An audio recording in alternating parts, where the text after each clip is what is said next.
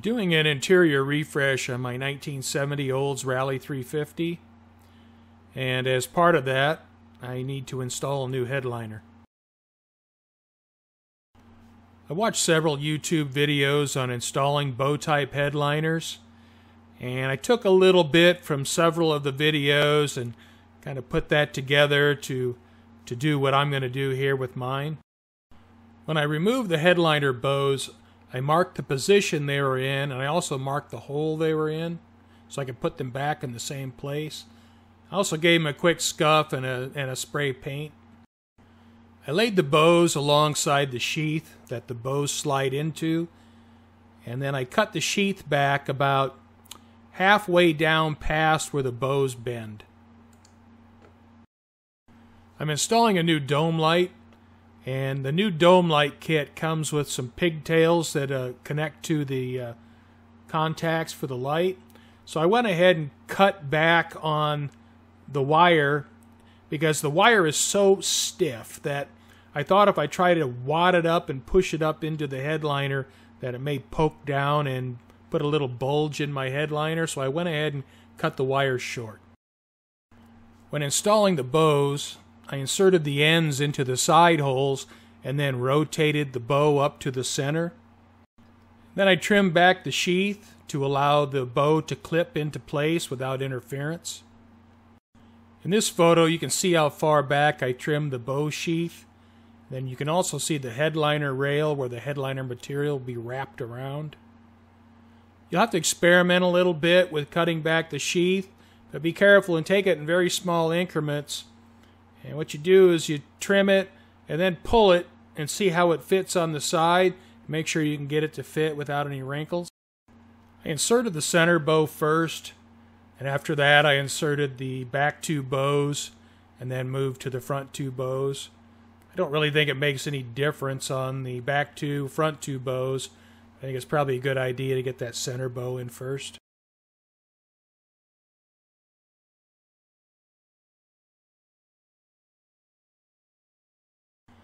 Before installing the front bows, I went ahead and cut a small slit in the headliner and pushed the dome light wires through.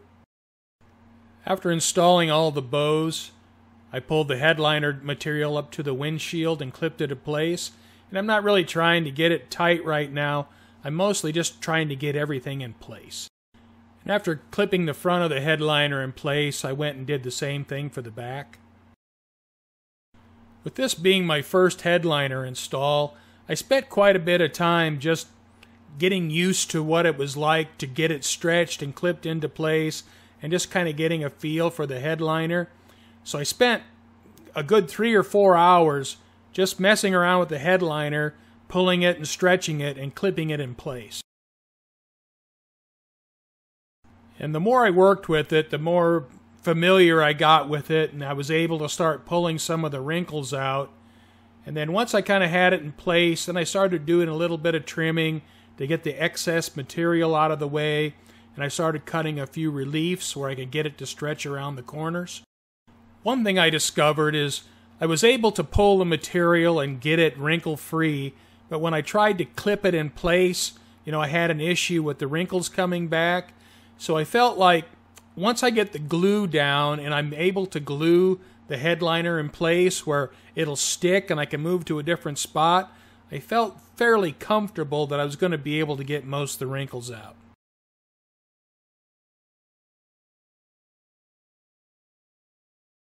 Once I had a certain comfort level with the headliner, I decided to go ahead and cover the sail panels. I placed the sail panel on the material so that the grain of the material ran vertical to the sail panel. And after that, I used masking tape and taped an outline of the sail panel onto the material so that I could get it back in the exact same spot. The tape also worked to keep me from getting glue where I didn't want it. Next, I coated the sail panel board with in its paper with glue. And don't be confused by this image because this panel belongs to the opposite side as the rest of the photos. I just didn't take a photo of the other panel. So don't get confused and put the glue on the wrong side. And here I also coated the fabric with glue and I let it dry until it doesn't stick to my fingers. It's barely tacky, but the glue will not stick to my fingers. And here you can see after pressing the pieces together, I don't have a lot of excess glue where I don't want it. And uh, my thinking was that should be make it easier to manipulate the fabric when I wrap it around the board. Once the pieces are glued together, I let it sit up for about an hour before moving forward.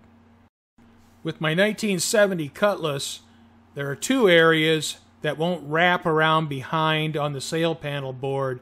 When you install the sail panel, those two areas will wrap around the headliner rail. Here you can see two areas that aren't glued, and uh, those areas will wrap around the headliner rail when we install the sail panels in the car.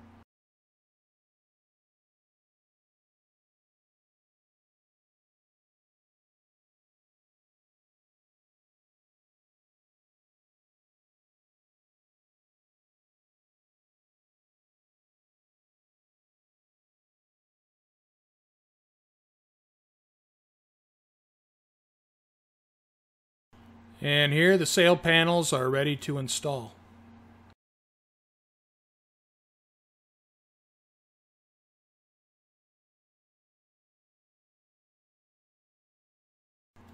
Before gluing the headliner in place, I went ahead and cleaned up all the uh, rubber windlace trim. This is the trim that fits over the top of the headliner and over the top of the headliner rail. I want to make sure that was clean as I could possibly get it. Also went ahead and cleaned the rear view mirror and and uh, some other pieces that I needed to install.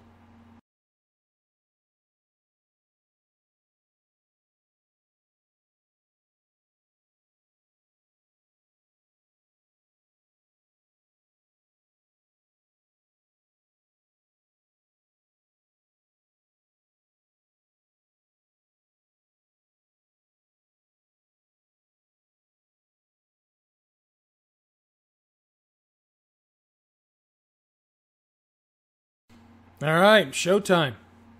Put some plastic over the dash in case I drip some contact cement onto the dash. And those blue plastic body tools, I mean, those are mandatory.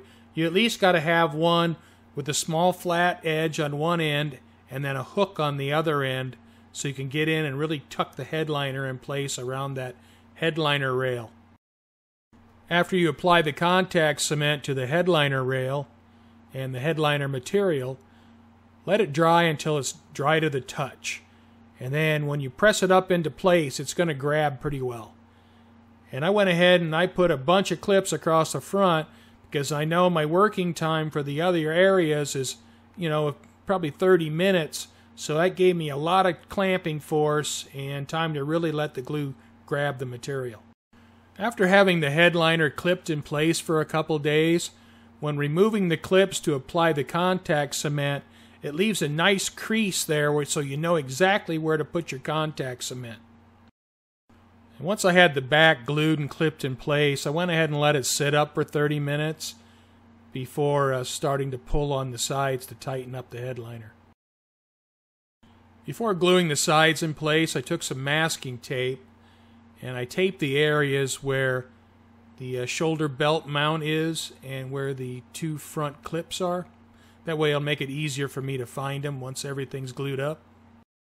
And just like the front and back, when unclipping the sides, it leaves a nice crease so you know just exactly where to put your contact cement. And you'll want to apply your contact cement on the front and the back of the headliner rail. There's no headliner rail up in the windshield pillar, so just go ahead and apply your contact cement to the pillar. And then once you start tightening it up, just go ahead and stick the headliner right to the pillar. And just like the front and back, I applied plenty of clips to make sure there was a good bite on the headliner rail.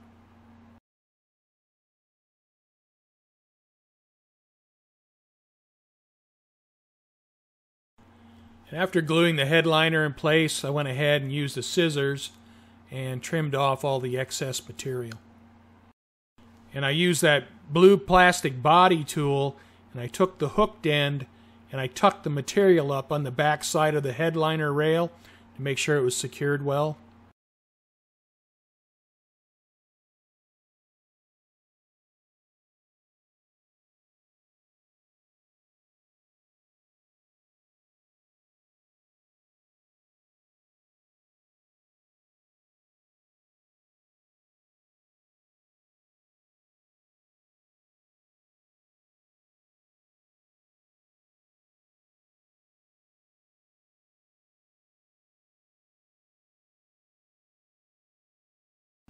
My sail panels came with four pieces of Velcro. And so what I did is I placed the Velcro, two pieces on each side, on those raised sections.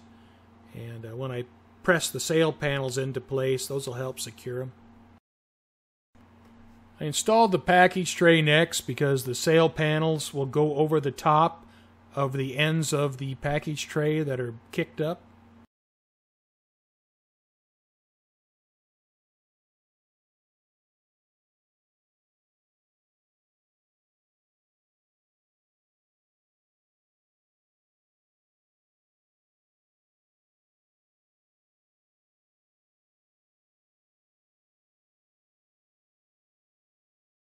In the places where the sail panel material will wrap over the top of the headliner, you'll need to apply some glue to the headliner so the sail panel material has something to grab onto. And after the sail panels were installed, I left I left the clips in place for about a half an hour to let the glue set up for a while before applying the windlace.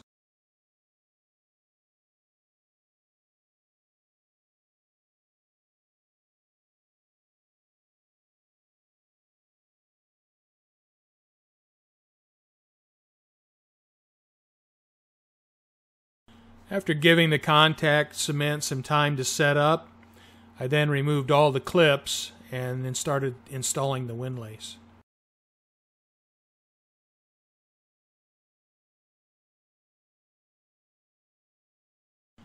I know the headliner doesn't look real tight there, but if you have real shallow wrinkles like that, when you apply some heat, those will tighten up quite a bit.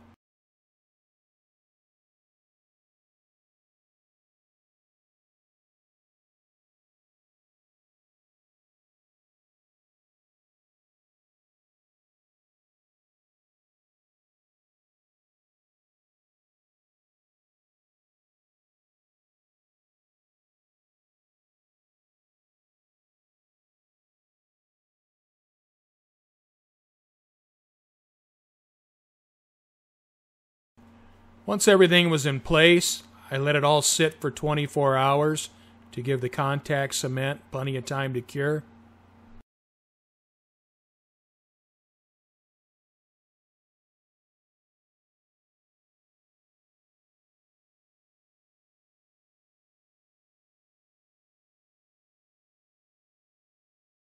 Here I'm feeling for the visor mount holes, and after letting it sit for 24 hours, I went ahead and started installing all the hardware.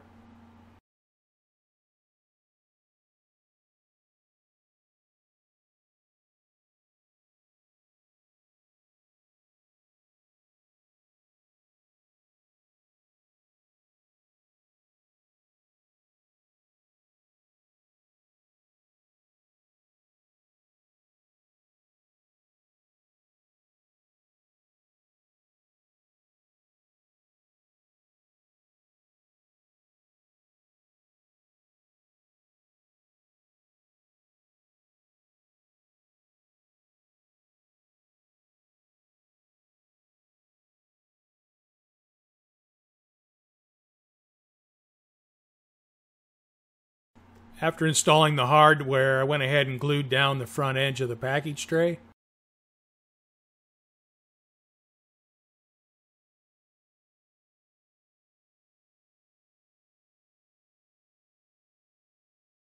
After installing all the hardware, the rearview mirror, the visor mounts, the shoulder belts, the dome light, this is what we have.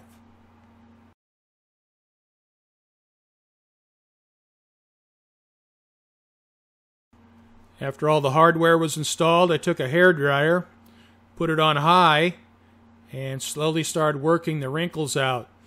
And you, you put the heat on the wrinkles and just keep an eye on it, and they'll start to close up.